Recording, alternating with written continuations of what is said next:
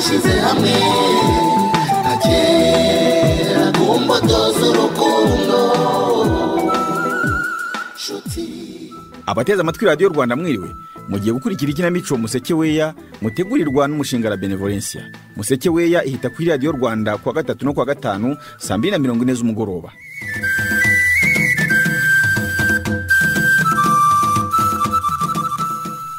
Mu gice cy'ubushize josiane wafungiweho imipaka rusange yari yabashije gutuza ndetse n'icumi y'agafarasi imuha amashyi nyuma yo kurundanya umugabo n'umukoresha buri wese akamupfunyikira icye kinyoma. Soso we yarirengaga arahiriraga kwa yanaviki ko nta mbaraga yabona zo kujya kurwaza se yategeye amaboko akeneye ko amuhobera nk'umubyeyi undi akamuvuma. Ko kwa munyemanzi duheruka induru ibaye ndende se rya joro ryacyanya yaye reka ntangire mwiyumvire. Ayiwanga munyemanzi wansize we. Ayiwe rero ndapfuye. Komera komera mama. Ayi. Iki kiri icyo kinyawe kigukanze ngo gifunire umuheto? Bahizi we. Do wabibonye? Ibiki do reba. Mm. ibiki se ko nta kidasanzwe mbona. Ese ko muzindutse iki gitondo musakuza habaye iki mama? Yewe gasore we tu- turagowe. Nyuma y'ibyaraye bibaye noneho dore ibyo wadutezeho gatwe we. Ayiwe. toka satani. Ah, mama. Ah, ibise byaba bifitanye isano n'ibyo twaraye twumvise nijoro. Ariko ubwo icyo utabona ni iki ariko si imbabazi bavugisha amangamba uri kubera. Iki Ah, njya ahubwo nje kureba ikibaye. Ngize ngo ni bya bintu bya nijoro bigarutse. Ehe, none se mama. ni icyo wa mugani w'abahizi izi mbeba ziguteye ikibazo cyiza ariko gaso nawe kuko twari kumwe nijoro. Urareba usanga bibaye ntawe bihuriye n'izi ntumbi z'imbeba baduteze ku muryango. Eh, ubundi si ibyo bintu byaraye bibakuye umutima mukomeza guhuza n'ibibaye byose ni ibiki nuko wari wagasomye ariko twaraye tubikubwiyeho bahe twaraye. Eh, dutewe n'ibisimba by'ubwoko bwose birasakuza bizenguruka inzu biraboroga. Irahira. Ongeraho ko n'ibyavuze nijoro kandi bisanzwe bivuga ku manywa gusa none nimundebere n'izi ntumbi z'imbeba murabona ko yesha atariko? Imwe ikuze n'izindi ebyiri z'ibyana ariko si ko ari byo ntumbwira ko bisobanuye ko oya we. Oya rwose. Kandi naraye inzirenze ubwo natahaga mu gicuku. Ayiwe noneho turashize. Bana ba twajwemo iki ni ikimenyetso cy'ikintu kibi nta kabuza. Kandi nk'uko mubibona do ni eshatu. Natwe turi batatu. Imbeba nkuru n'abana babiri. Uzi ko ari byo? Nuko ntazi niba hari aho bihuriye n'ibyaraye bitubayeho. Ariko nanjye ndumva agize ubwoba da. Ga- ga- gaso u- u- ubwoba kubugira byo ni ngombwa. None icyo mutabona ni Do- do- do- dore nkanjye naraye nzirenze. Nta- ntazibonye. Hmm? none nakangutse nsanga ndyamye ncuramye Hmm? munumva icyo ki- itari ikimenyetso kibi? None? Hmm? Nga- ngani mumbwire erega nanjye ikimenyetso nakibonye bana Eh, banjye. eh. Naraye ndose munyemanza afata ukuboko asaba ko mukurikira ngaho da. Nimwumva ariko namwe mwihuza buri kantu kose ngo mugere no ku bitabasha guhuzwa gaso Ndakumva. M- mama. Ndakumva mwana. Nyaboneka muraza hambere i- i- igihe ibi byampitanye. Muzamenye imbuto yankomotseho rwose. Ariko mbabazi mwe muzi gusesengura ubu nta kintu mubonamo. Kuko kijyanye n'ikize kandi mama kugenda ikubagaho kwa josiane Eh. ibi na byo bigakurikiraho kuki byabaye ari uko adahari ariko uzi ko ari byo bikunze ni we ubiri inyuma ni we byanashoboka rero nabonye uriya mugore ntawamenya ibye josiane ararengana? Eh, twese sinituzi ko ari mu butumwa bw'akazi umva mbese urumva ibi yaba bije mate u- ugiye kuburanira umugore wawe rero Eh. kuki ibi bitari byabayeho mbere si uko se nyamara gaso ngende mu byo mu mavuga bifite ishingiro. Mm, kuva nabaho ni bwo nabona ibintu nk'ibi mu muryango wa munyemanzi. Si uko oya josiane mwimuzana muri ibi bintu atanahari rwose. Ahubwo nimugerageze gushakira igisubizo ahandi. Gaso ndakumva. ntuvuze ko josiane arengana? Eh. ngaho kuraho izo ntumbi z'imbere uriho ujya jewe wowe. Reka shwe da oya mama. Oya uramenye rwose. Reka reka reka. oya. Yewe ndabona we na yekire mwakundanye melodi vuga agacyo utamukangura ahubwo. Uzi ukuntu noneho yasinziriye yabanje kundushya. Yo ngo yifuzaga iki se disi? Yarimo ashaka kujya kwishakira iyo wagiye. Namugariye inshuro ebyiri zose arimo akingura urugi avuga ngo mama mama. Yo nihangane disi nagiye ntamuhaye ibere kubera nangaga kumukangura. Bimeze bite rero? Mfite amatsiko avanze n'ubwoba maribo. Muganga ati iki rero? Guseka se maribo. Shambwira muganga yagushakiraga amahoro. Sha melodi uribuka wa mukobwa wari urwariye hirya yanjye? Wakundaga kuba afite ishapure mu ntoki avuga ubutitsa. Namwibagirwa ni n'ibiparu bye bidashira sha sinari nzi ko ari ivu rihoze uti? Sha arantunguye muri iki gitondo ndumirwa. Uzi ko nari nzi ko adashobora no kuvuga nabi? Ntibaramusezerera mbese aracyari mu bitaro. Yakubwiye nabi se? Nyine nasanze bamaze kumusezera ari kumwe n'umuhungu bakundana. Ariko yari yamuzonze agenda amushwanira ngo yamenye ko igihe yari ari mu bitaro uwo muhungu yamutendetse. Niyihangane ariko maribo ushaka kumbwira icyo wavuganye na muganga cyangwa urakomeza kunkwepa umbwira inkuru zitarangira cyo? No kurakara se kandi na byo bijemo melodi ariko uribuka ukuntu ukimara kumbwira ko muganga yagutelefonnye nahangayitse Eh, ubwo se ni gute uza ukajya mu byamvahe nanjye kandi uzi ko nari nguhangayikiye ok ngaho mbabarira basi sha nyine nanjye nagiye kubona na muganga mpangayitse. Ariko ngeze yambaza uko merewe. Hanyuma nambwira ko ibisubizo by'ibizami byari byoherejwe hanze byaje bakaba basanze nta kindi kibazo mfite. Mana we nguhaye icyubahiro! Amen amen. Umva amashimwe mana we ni amen ukuri imana nishimwe pe. Oya rwose nari mfite ubwoba ishimwe. ko nshobora kongera gusubira ku iseta. Oya oya oya we.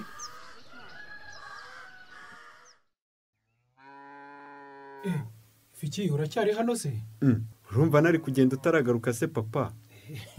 Kubera ko wari wambwiye ko udatinda ntaze gusiga urugo rwonyine mba ngutegereje. Ese? Eh, aho wari ugiye se usanze bimeze bite? Papa sosa aracyarembye. Yewe hari aho harimo kwijajara da? Eh, uretse ko nyine kurwara ntugire kirwaza na byo ni ishyano. Ariko rero papa uriya musaza mugenga ni we wabaye umubyeyi gito. Ubu si yaza kwakira soso nk'umwana none ntaba muri hafi koko? Gusa rero buriya njye nk'umubyeyi Mm, numva gasozi utari akwiriye kugira nk'uko se yagize. Akarenzaho akajya kumurwaza. Papa nkurikije ikiganiro twaraye tugiranye? Mhm. ngera aho ngera rwose soso nkamwumva. Yewe. Ni uko batekereza se akumva muteye ubwoba byose biva ku kuntu yamwakiranye nabi. Ariko wa mugani wasanga ari ibikomere bituma asiga ahorana ubwoba. Eh, ahubwo se papa wumerewe ute? Icyo kibazo se? Nakomeje kwibaza niba ubutumwa bukomeje gusohoka ku mbuga nkoranyambaga.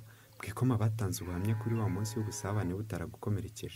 Uravuga ibi bimaze iminsi bigaruka se ngo ntitwari dukwiye kuganiriza ababyiruka ku mateka yaranze muhumbura na bumanzi hari abavuga ibyo? Hari n'abavuga ko mwari mwabanje kubiganiraho?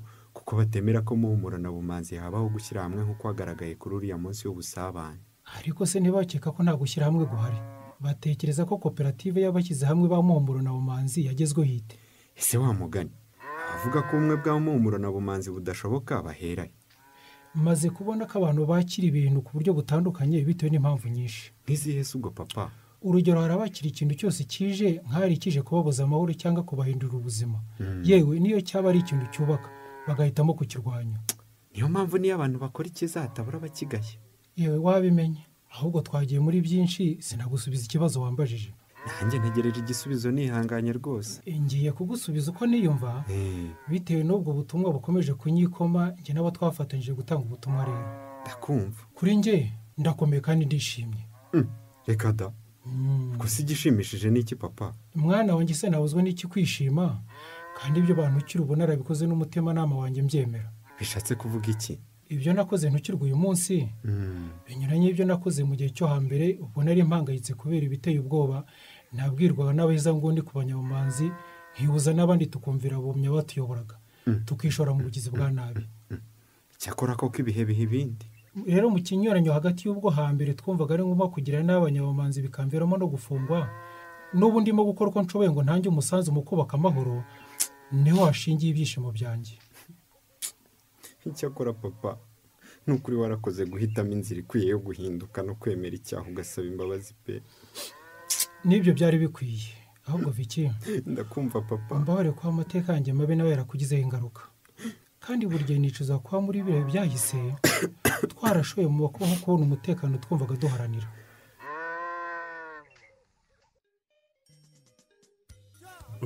Manyo kuvuga ko ufite umuriro kandi unatengurwa nkaba numva njye ntabyo numva. Icyo utumva ni se?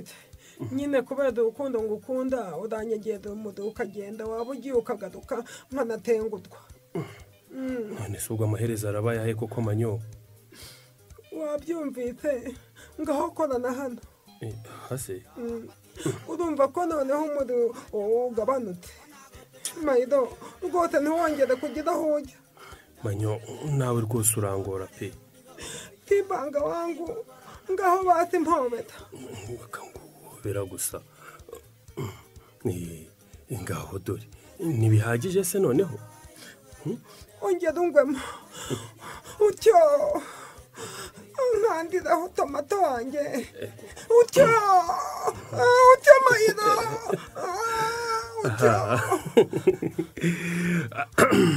ubu noneho nagenda ariko. Sibyo? Ariko atabantu utaka kujya haruta ikibasumba ni hehe tibanga twita tomato patato wanjye. Ngaho batongera umpe n'ibindi bibidu ubundi umpobere kandi karindwi wenda nakoroherwa.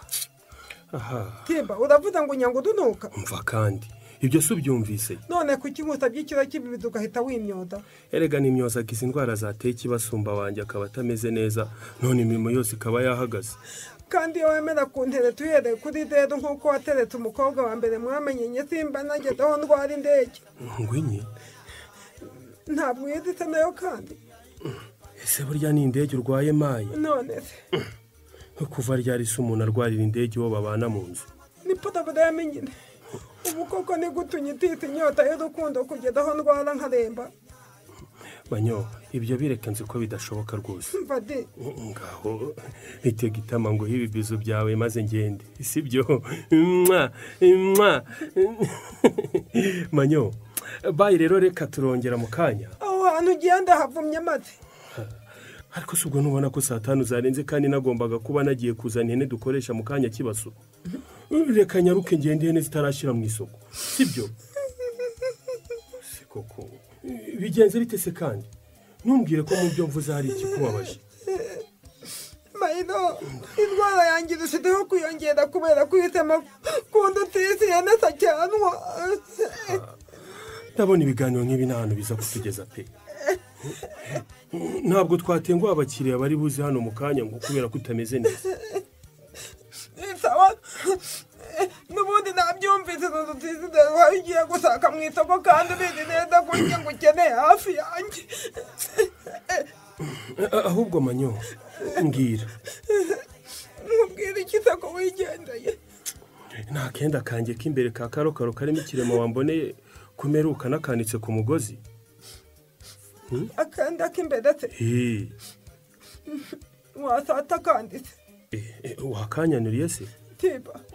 Nakakwanuriye ariko ubu tuvugana niko nambaye ariko se manyo ubwo ko ariko konyine gafuze nari mfite koko ndambara iki nyine biroroshye wegenda ufate siringi yanjye hariya mu cyumba aba ariyo wifatira nitanagukwira ntacyo uyizirikisa igikwasi nyumvira ni ukuri.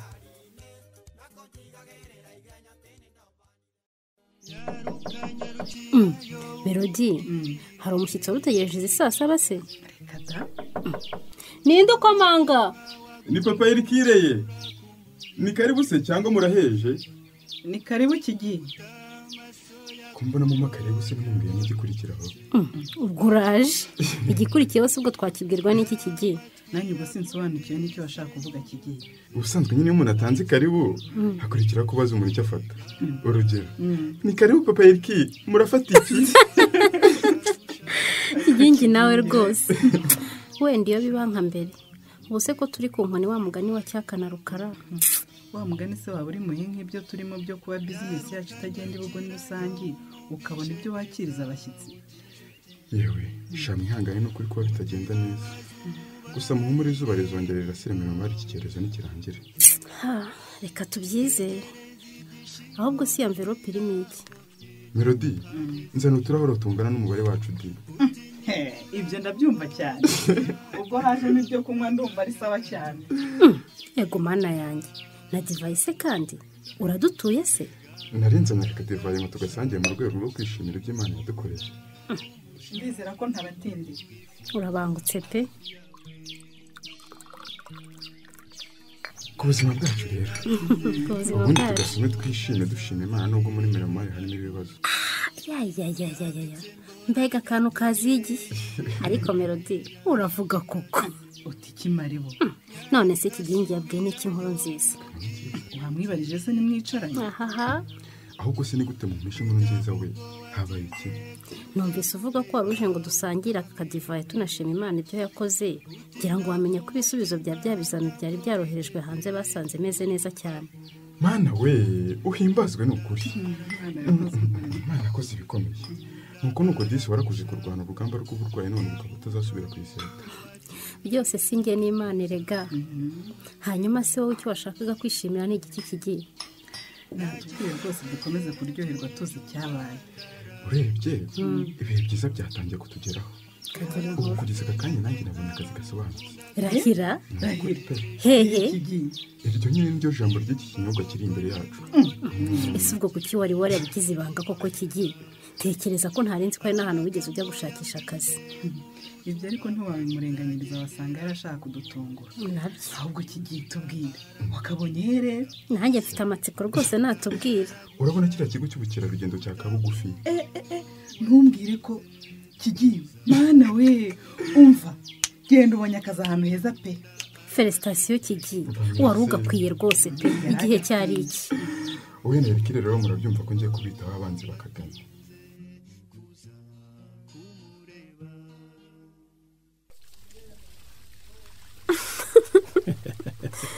Ariko nawe disi uzi ko undeba nkumva amaso yawe urampinguranyije neza neza? Reka shaje zi Ah, keretse uhama kwiturira muri wowe reka. Ariko kandi buriya ntuzi ikintu kinejeje ni iki se gafara kuba mbona noneho utuje udahangayitse nk'uko ejo byari bimeze. Ese urumva nabuzwa n'iki gutuza we? Oh. buriya ntushobora kumva ukuntu kuba narabashije kumvisha ku kazi ko nagiye kwivuza hanze. Eh. kumvisha no mu rugo ko misiyo igikomeje Hmm? ndumva ameze neza. Ah, gusa rero misi iracyanakomeje Aha. ariko se kuko uravugisha ukuri nturamenya ko wakanda ukora kuri hoteli josiya papa gashiba nawe rwose. None se ko kuri hoteli njyewe ngiye mu kazi kugira ngo amategeko y'akazi atwemera gukora ibyo twishakiye ariko ndabyibutse we Eh. hari ahantu hamwe nzi koga. Ni hehe se? Ni pisine imeze ite ngo ushakishe aho iri nawe wisanzura ukina amavunane ishaje zindi aho hantu nzi koga rero. Ni mu ibasi. wowe ntugire ikibazo? Ngwino hano urava mu mazi umaze kumenya ko koga iby'ibanze. Eh, Eh, eh, papa gashi. Ntunde kure ni ukuri udatuma nsoma nkera wowe humura rwose. Reka humura ntacyo kumwe nanjye sheri Mm. Mm. yiyoroshye rwose. Ariko se wigira ubwoba Eh, reka ngerageze. gutyo sha Yego, gutya. noneho ujyana amaguru n'amaboko Yego. eh, ugenda ubisikanya gutya? Eh, ujya muri ya gusa aho bisikanya rwose. ntureba ko hari abantu bari kwifatira agacupa batureba we ibyo birabareba. Eh, papa bagusaba kumwe n'umwana wihereye umufasha kuririmba sha Eh, awe Eh. ngaho reka tube turuhutse urongera mu kanya. Eh, mbega ukuntu numva nduhutse mu mutwe we. Nuko rwose shasheri. Hejuru no kuba intego yanjye yo kumara stress nayigezeho sheri nkunda ukuntu mfata nk'umwamikazi mba numva mbikunze kumva utabyumva pe ntiwumva se ahubwo Mm. Mm. yaba ibihe nk'ibi turimo byahoraga witeka aha ibyo byo ntibyakunda bambi ariko ubundi buriya gasore atunze nk'igiki gifite agaciro. Kubera iki se ubimbajije apa? Akamureke ndabizi gasore ka munyemanza ntacyo atunze kigaragara. Se buriya ni- ntiyanabasinzira yasamye josiya ariko se disi have winsubiza mu rugo mu bitekerezo. Oh, babarira mwiza wanjye. Ndakubabariye gusa buriya rero ndakumva maze gusanga hari ubwo ibihe bijya bica amarenga y'igikwiriye. Mm. uti ibihe bica amarenga y'igikwiriye? None se josiya guhera aka kanya. Yego. Nta kuntu twakwigumanira burundu ukibagirwa ibyo gusubira kwa gasore. Mm. gafarasi yise koko arakomeje. Josiane ati iki naho ubutaha.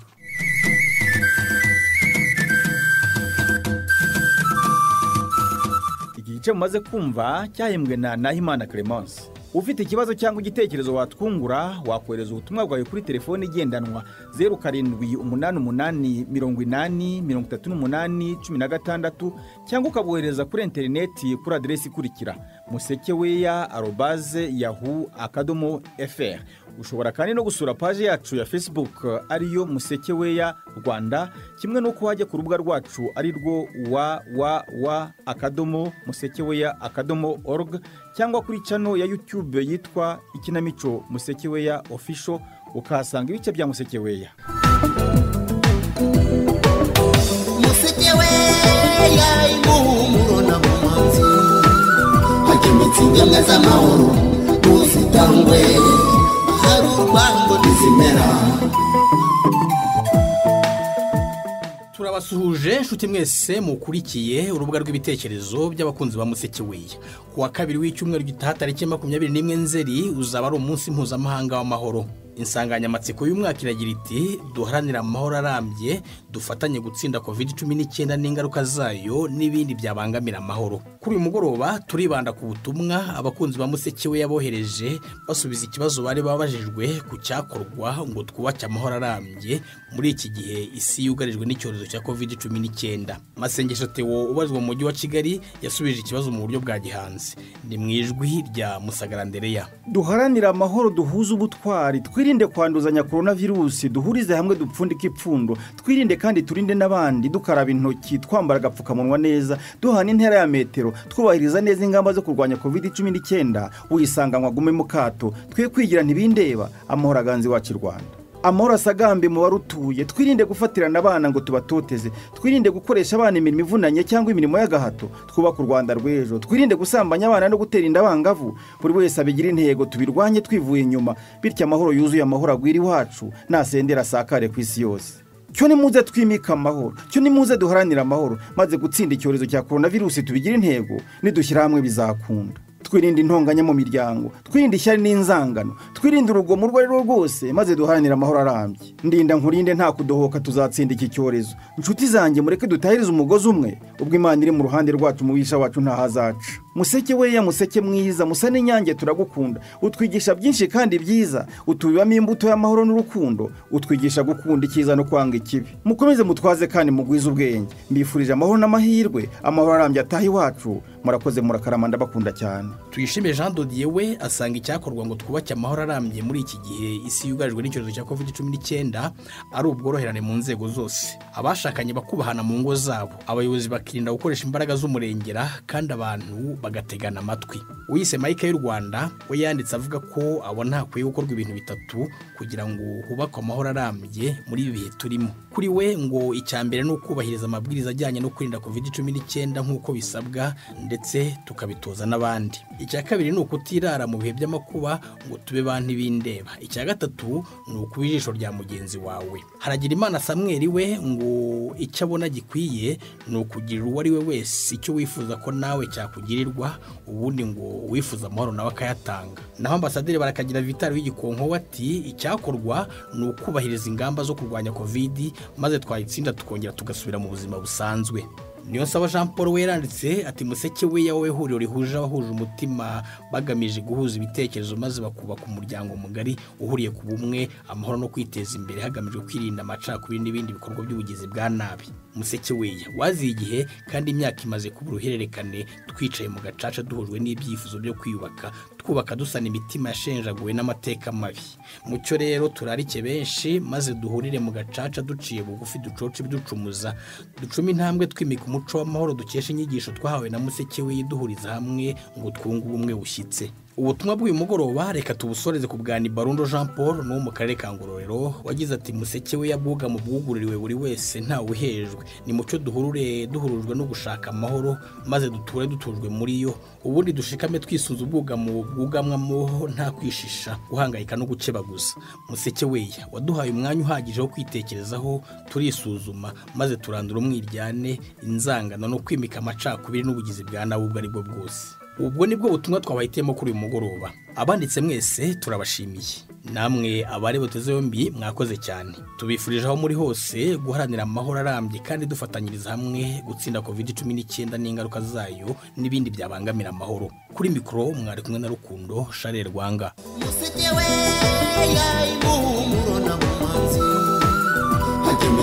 Z'amahoro ntuzitangwe hari urwango ntizimera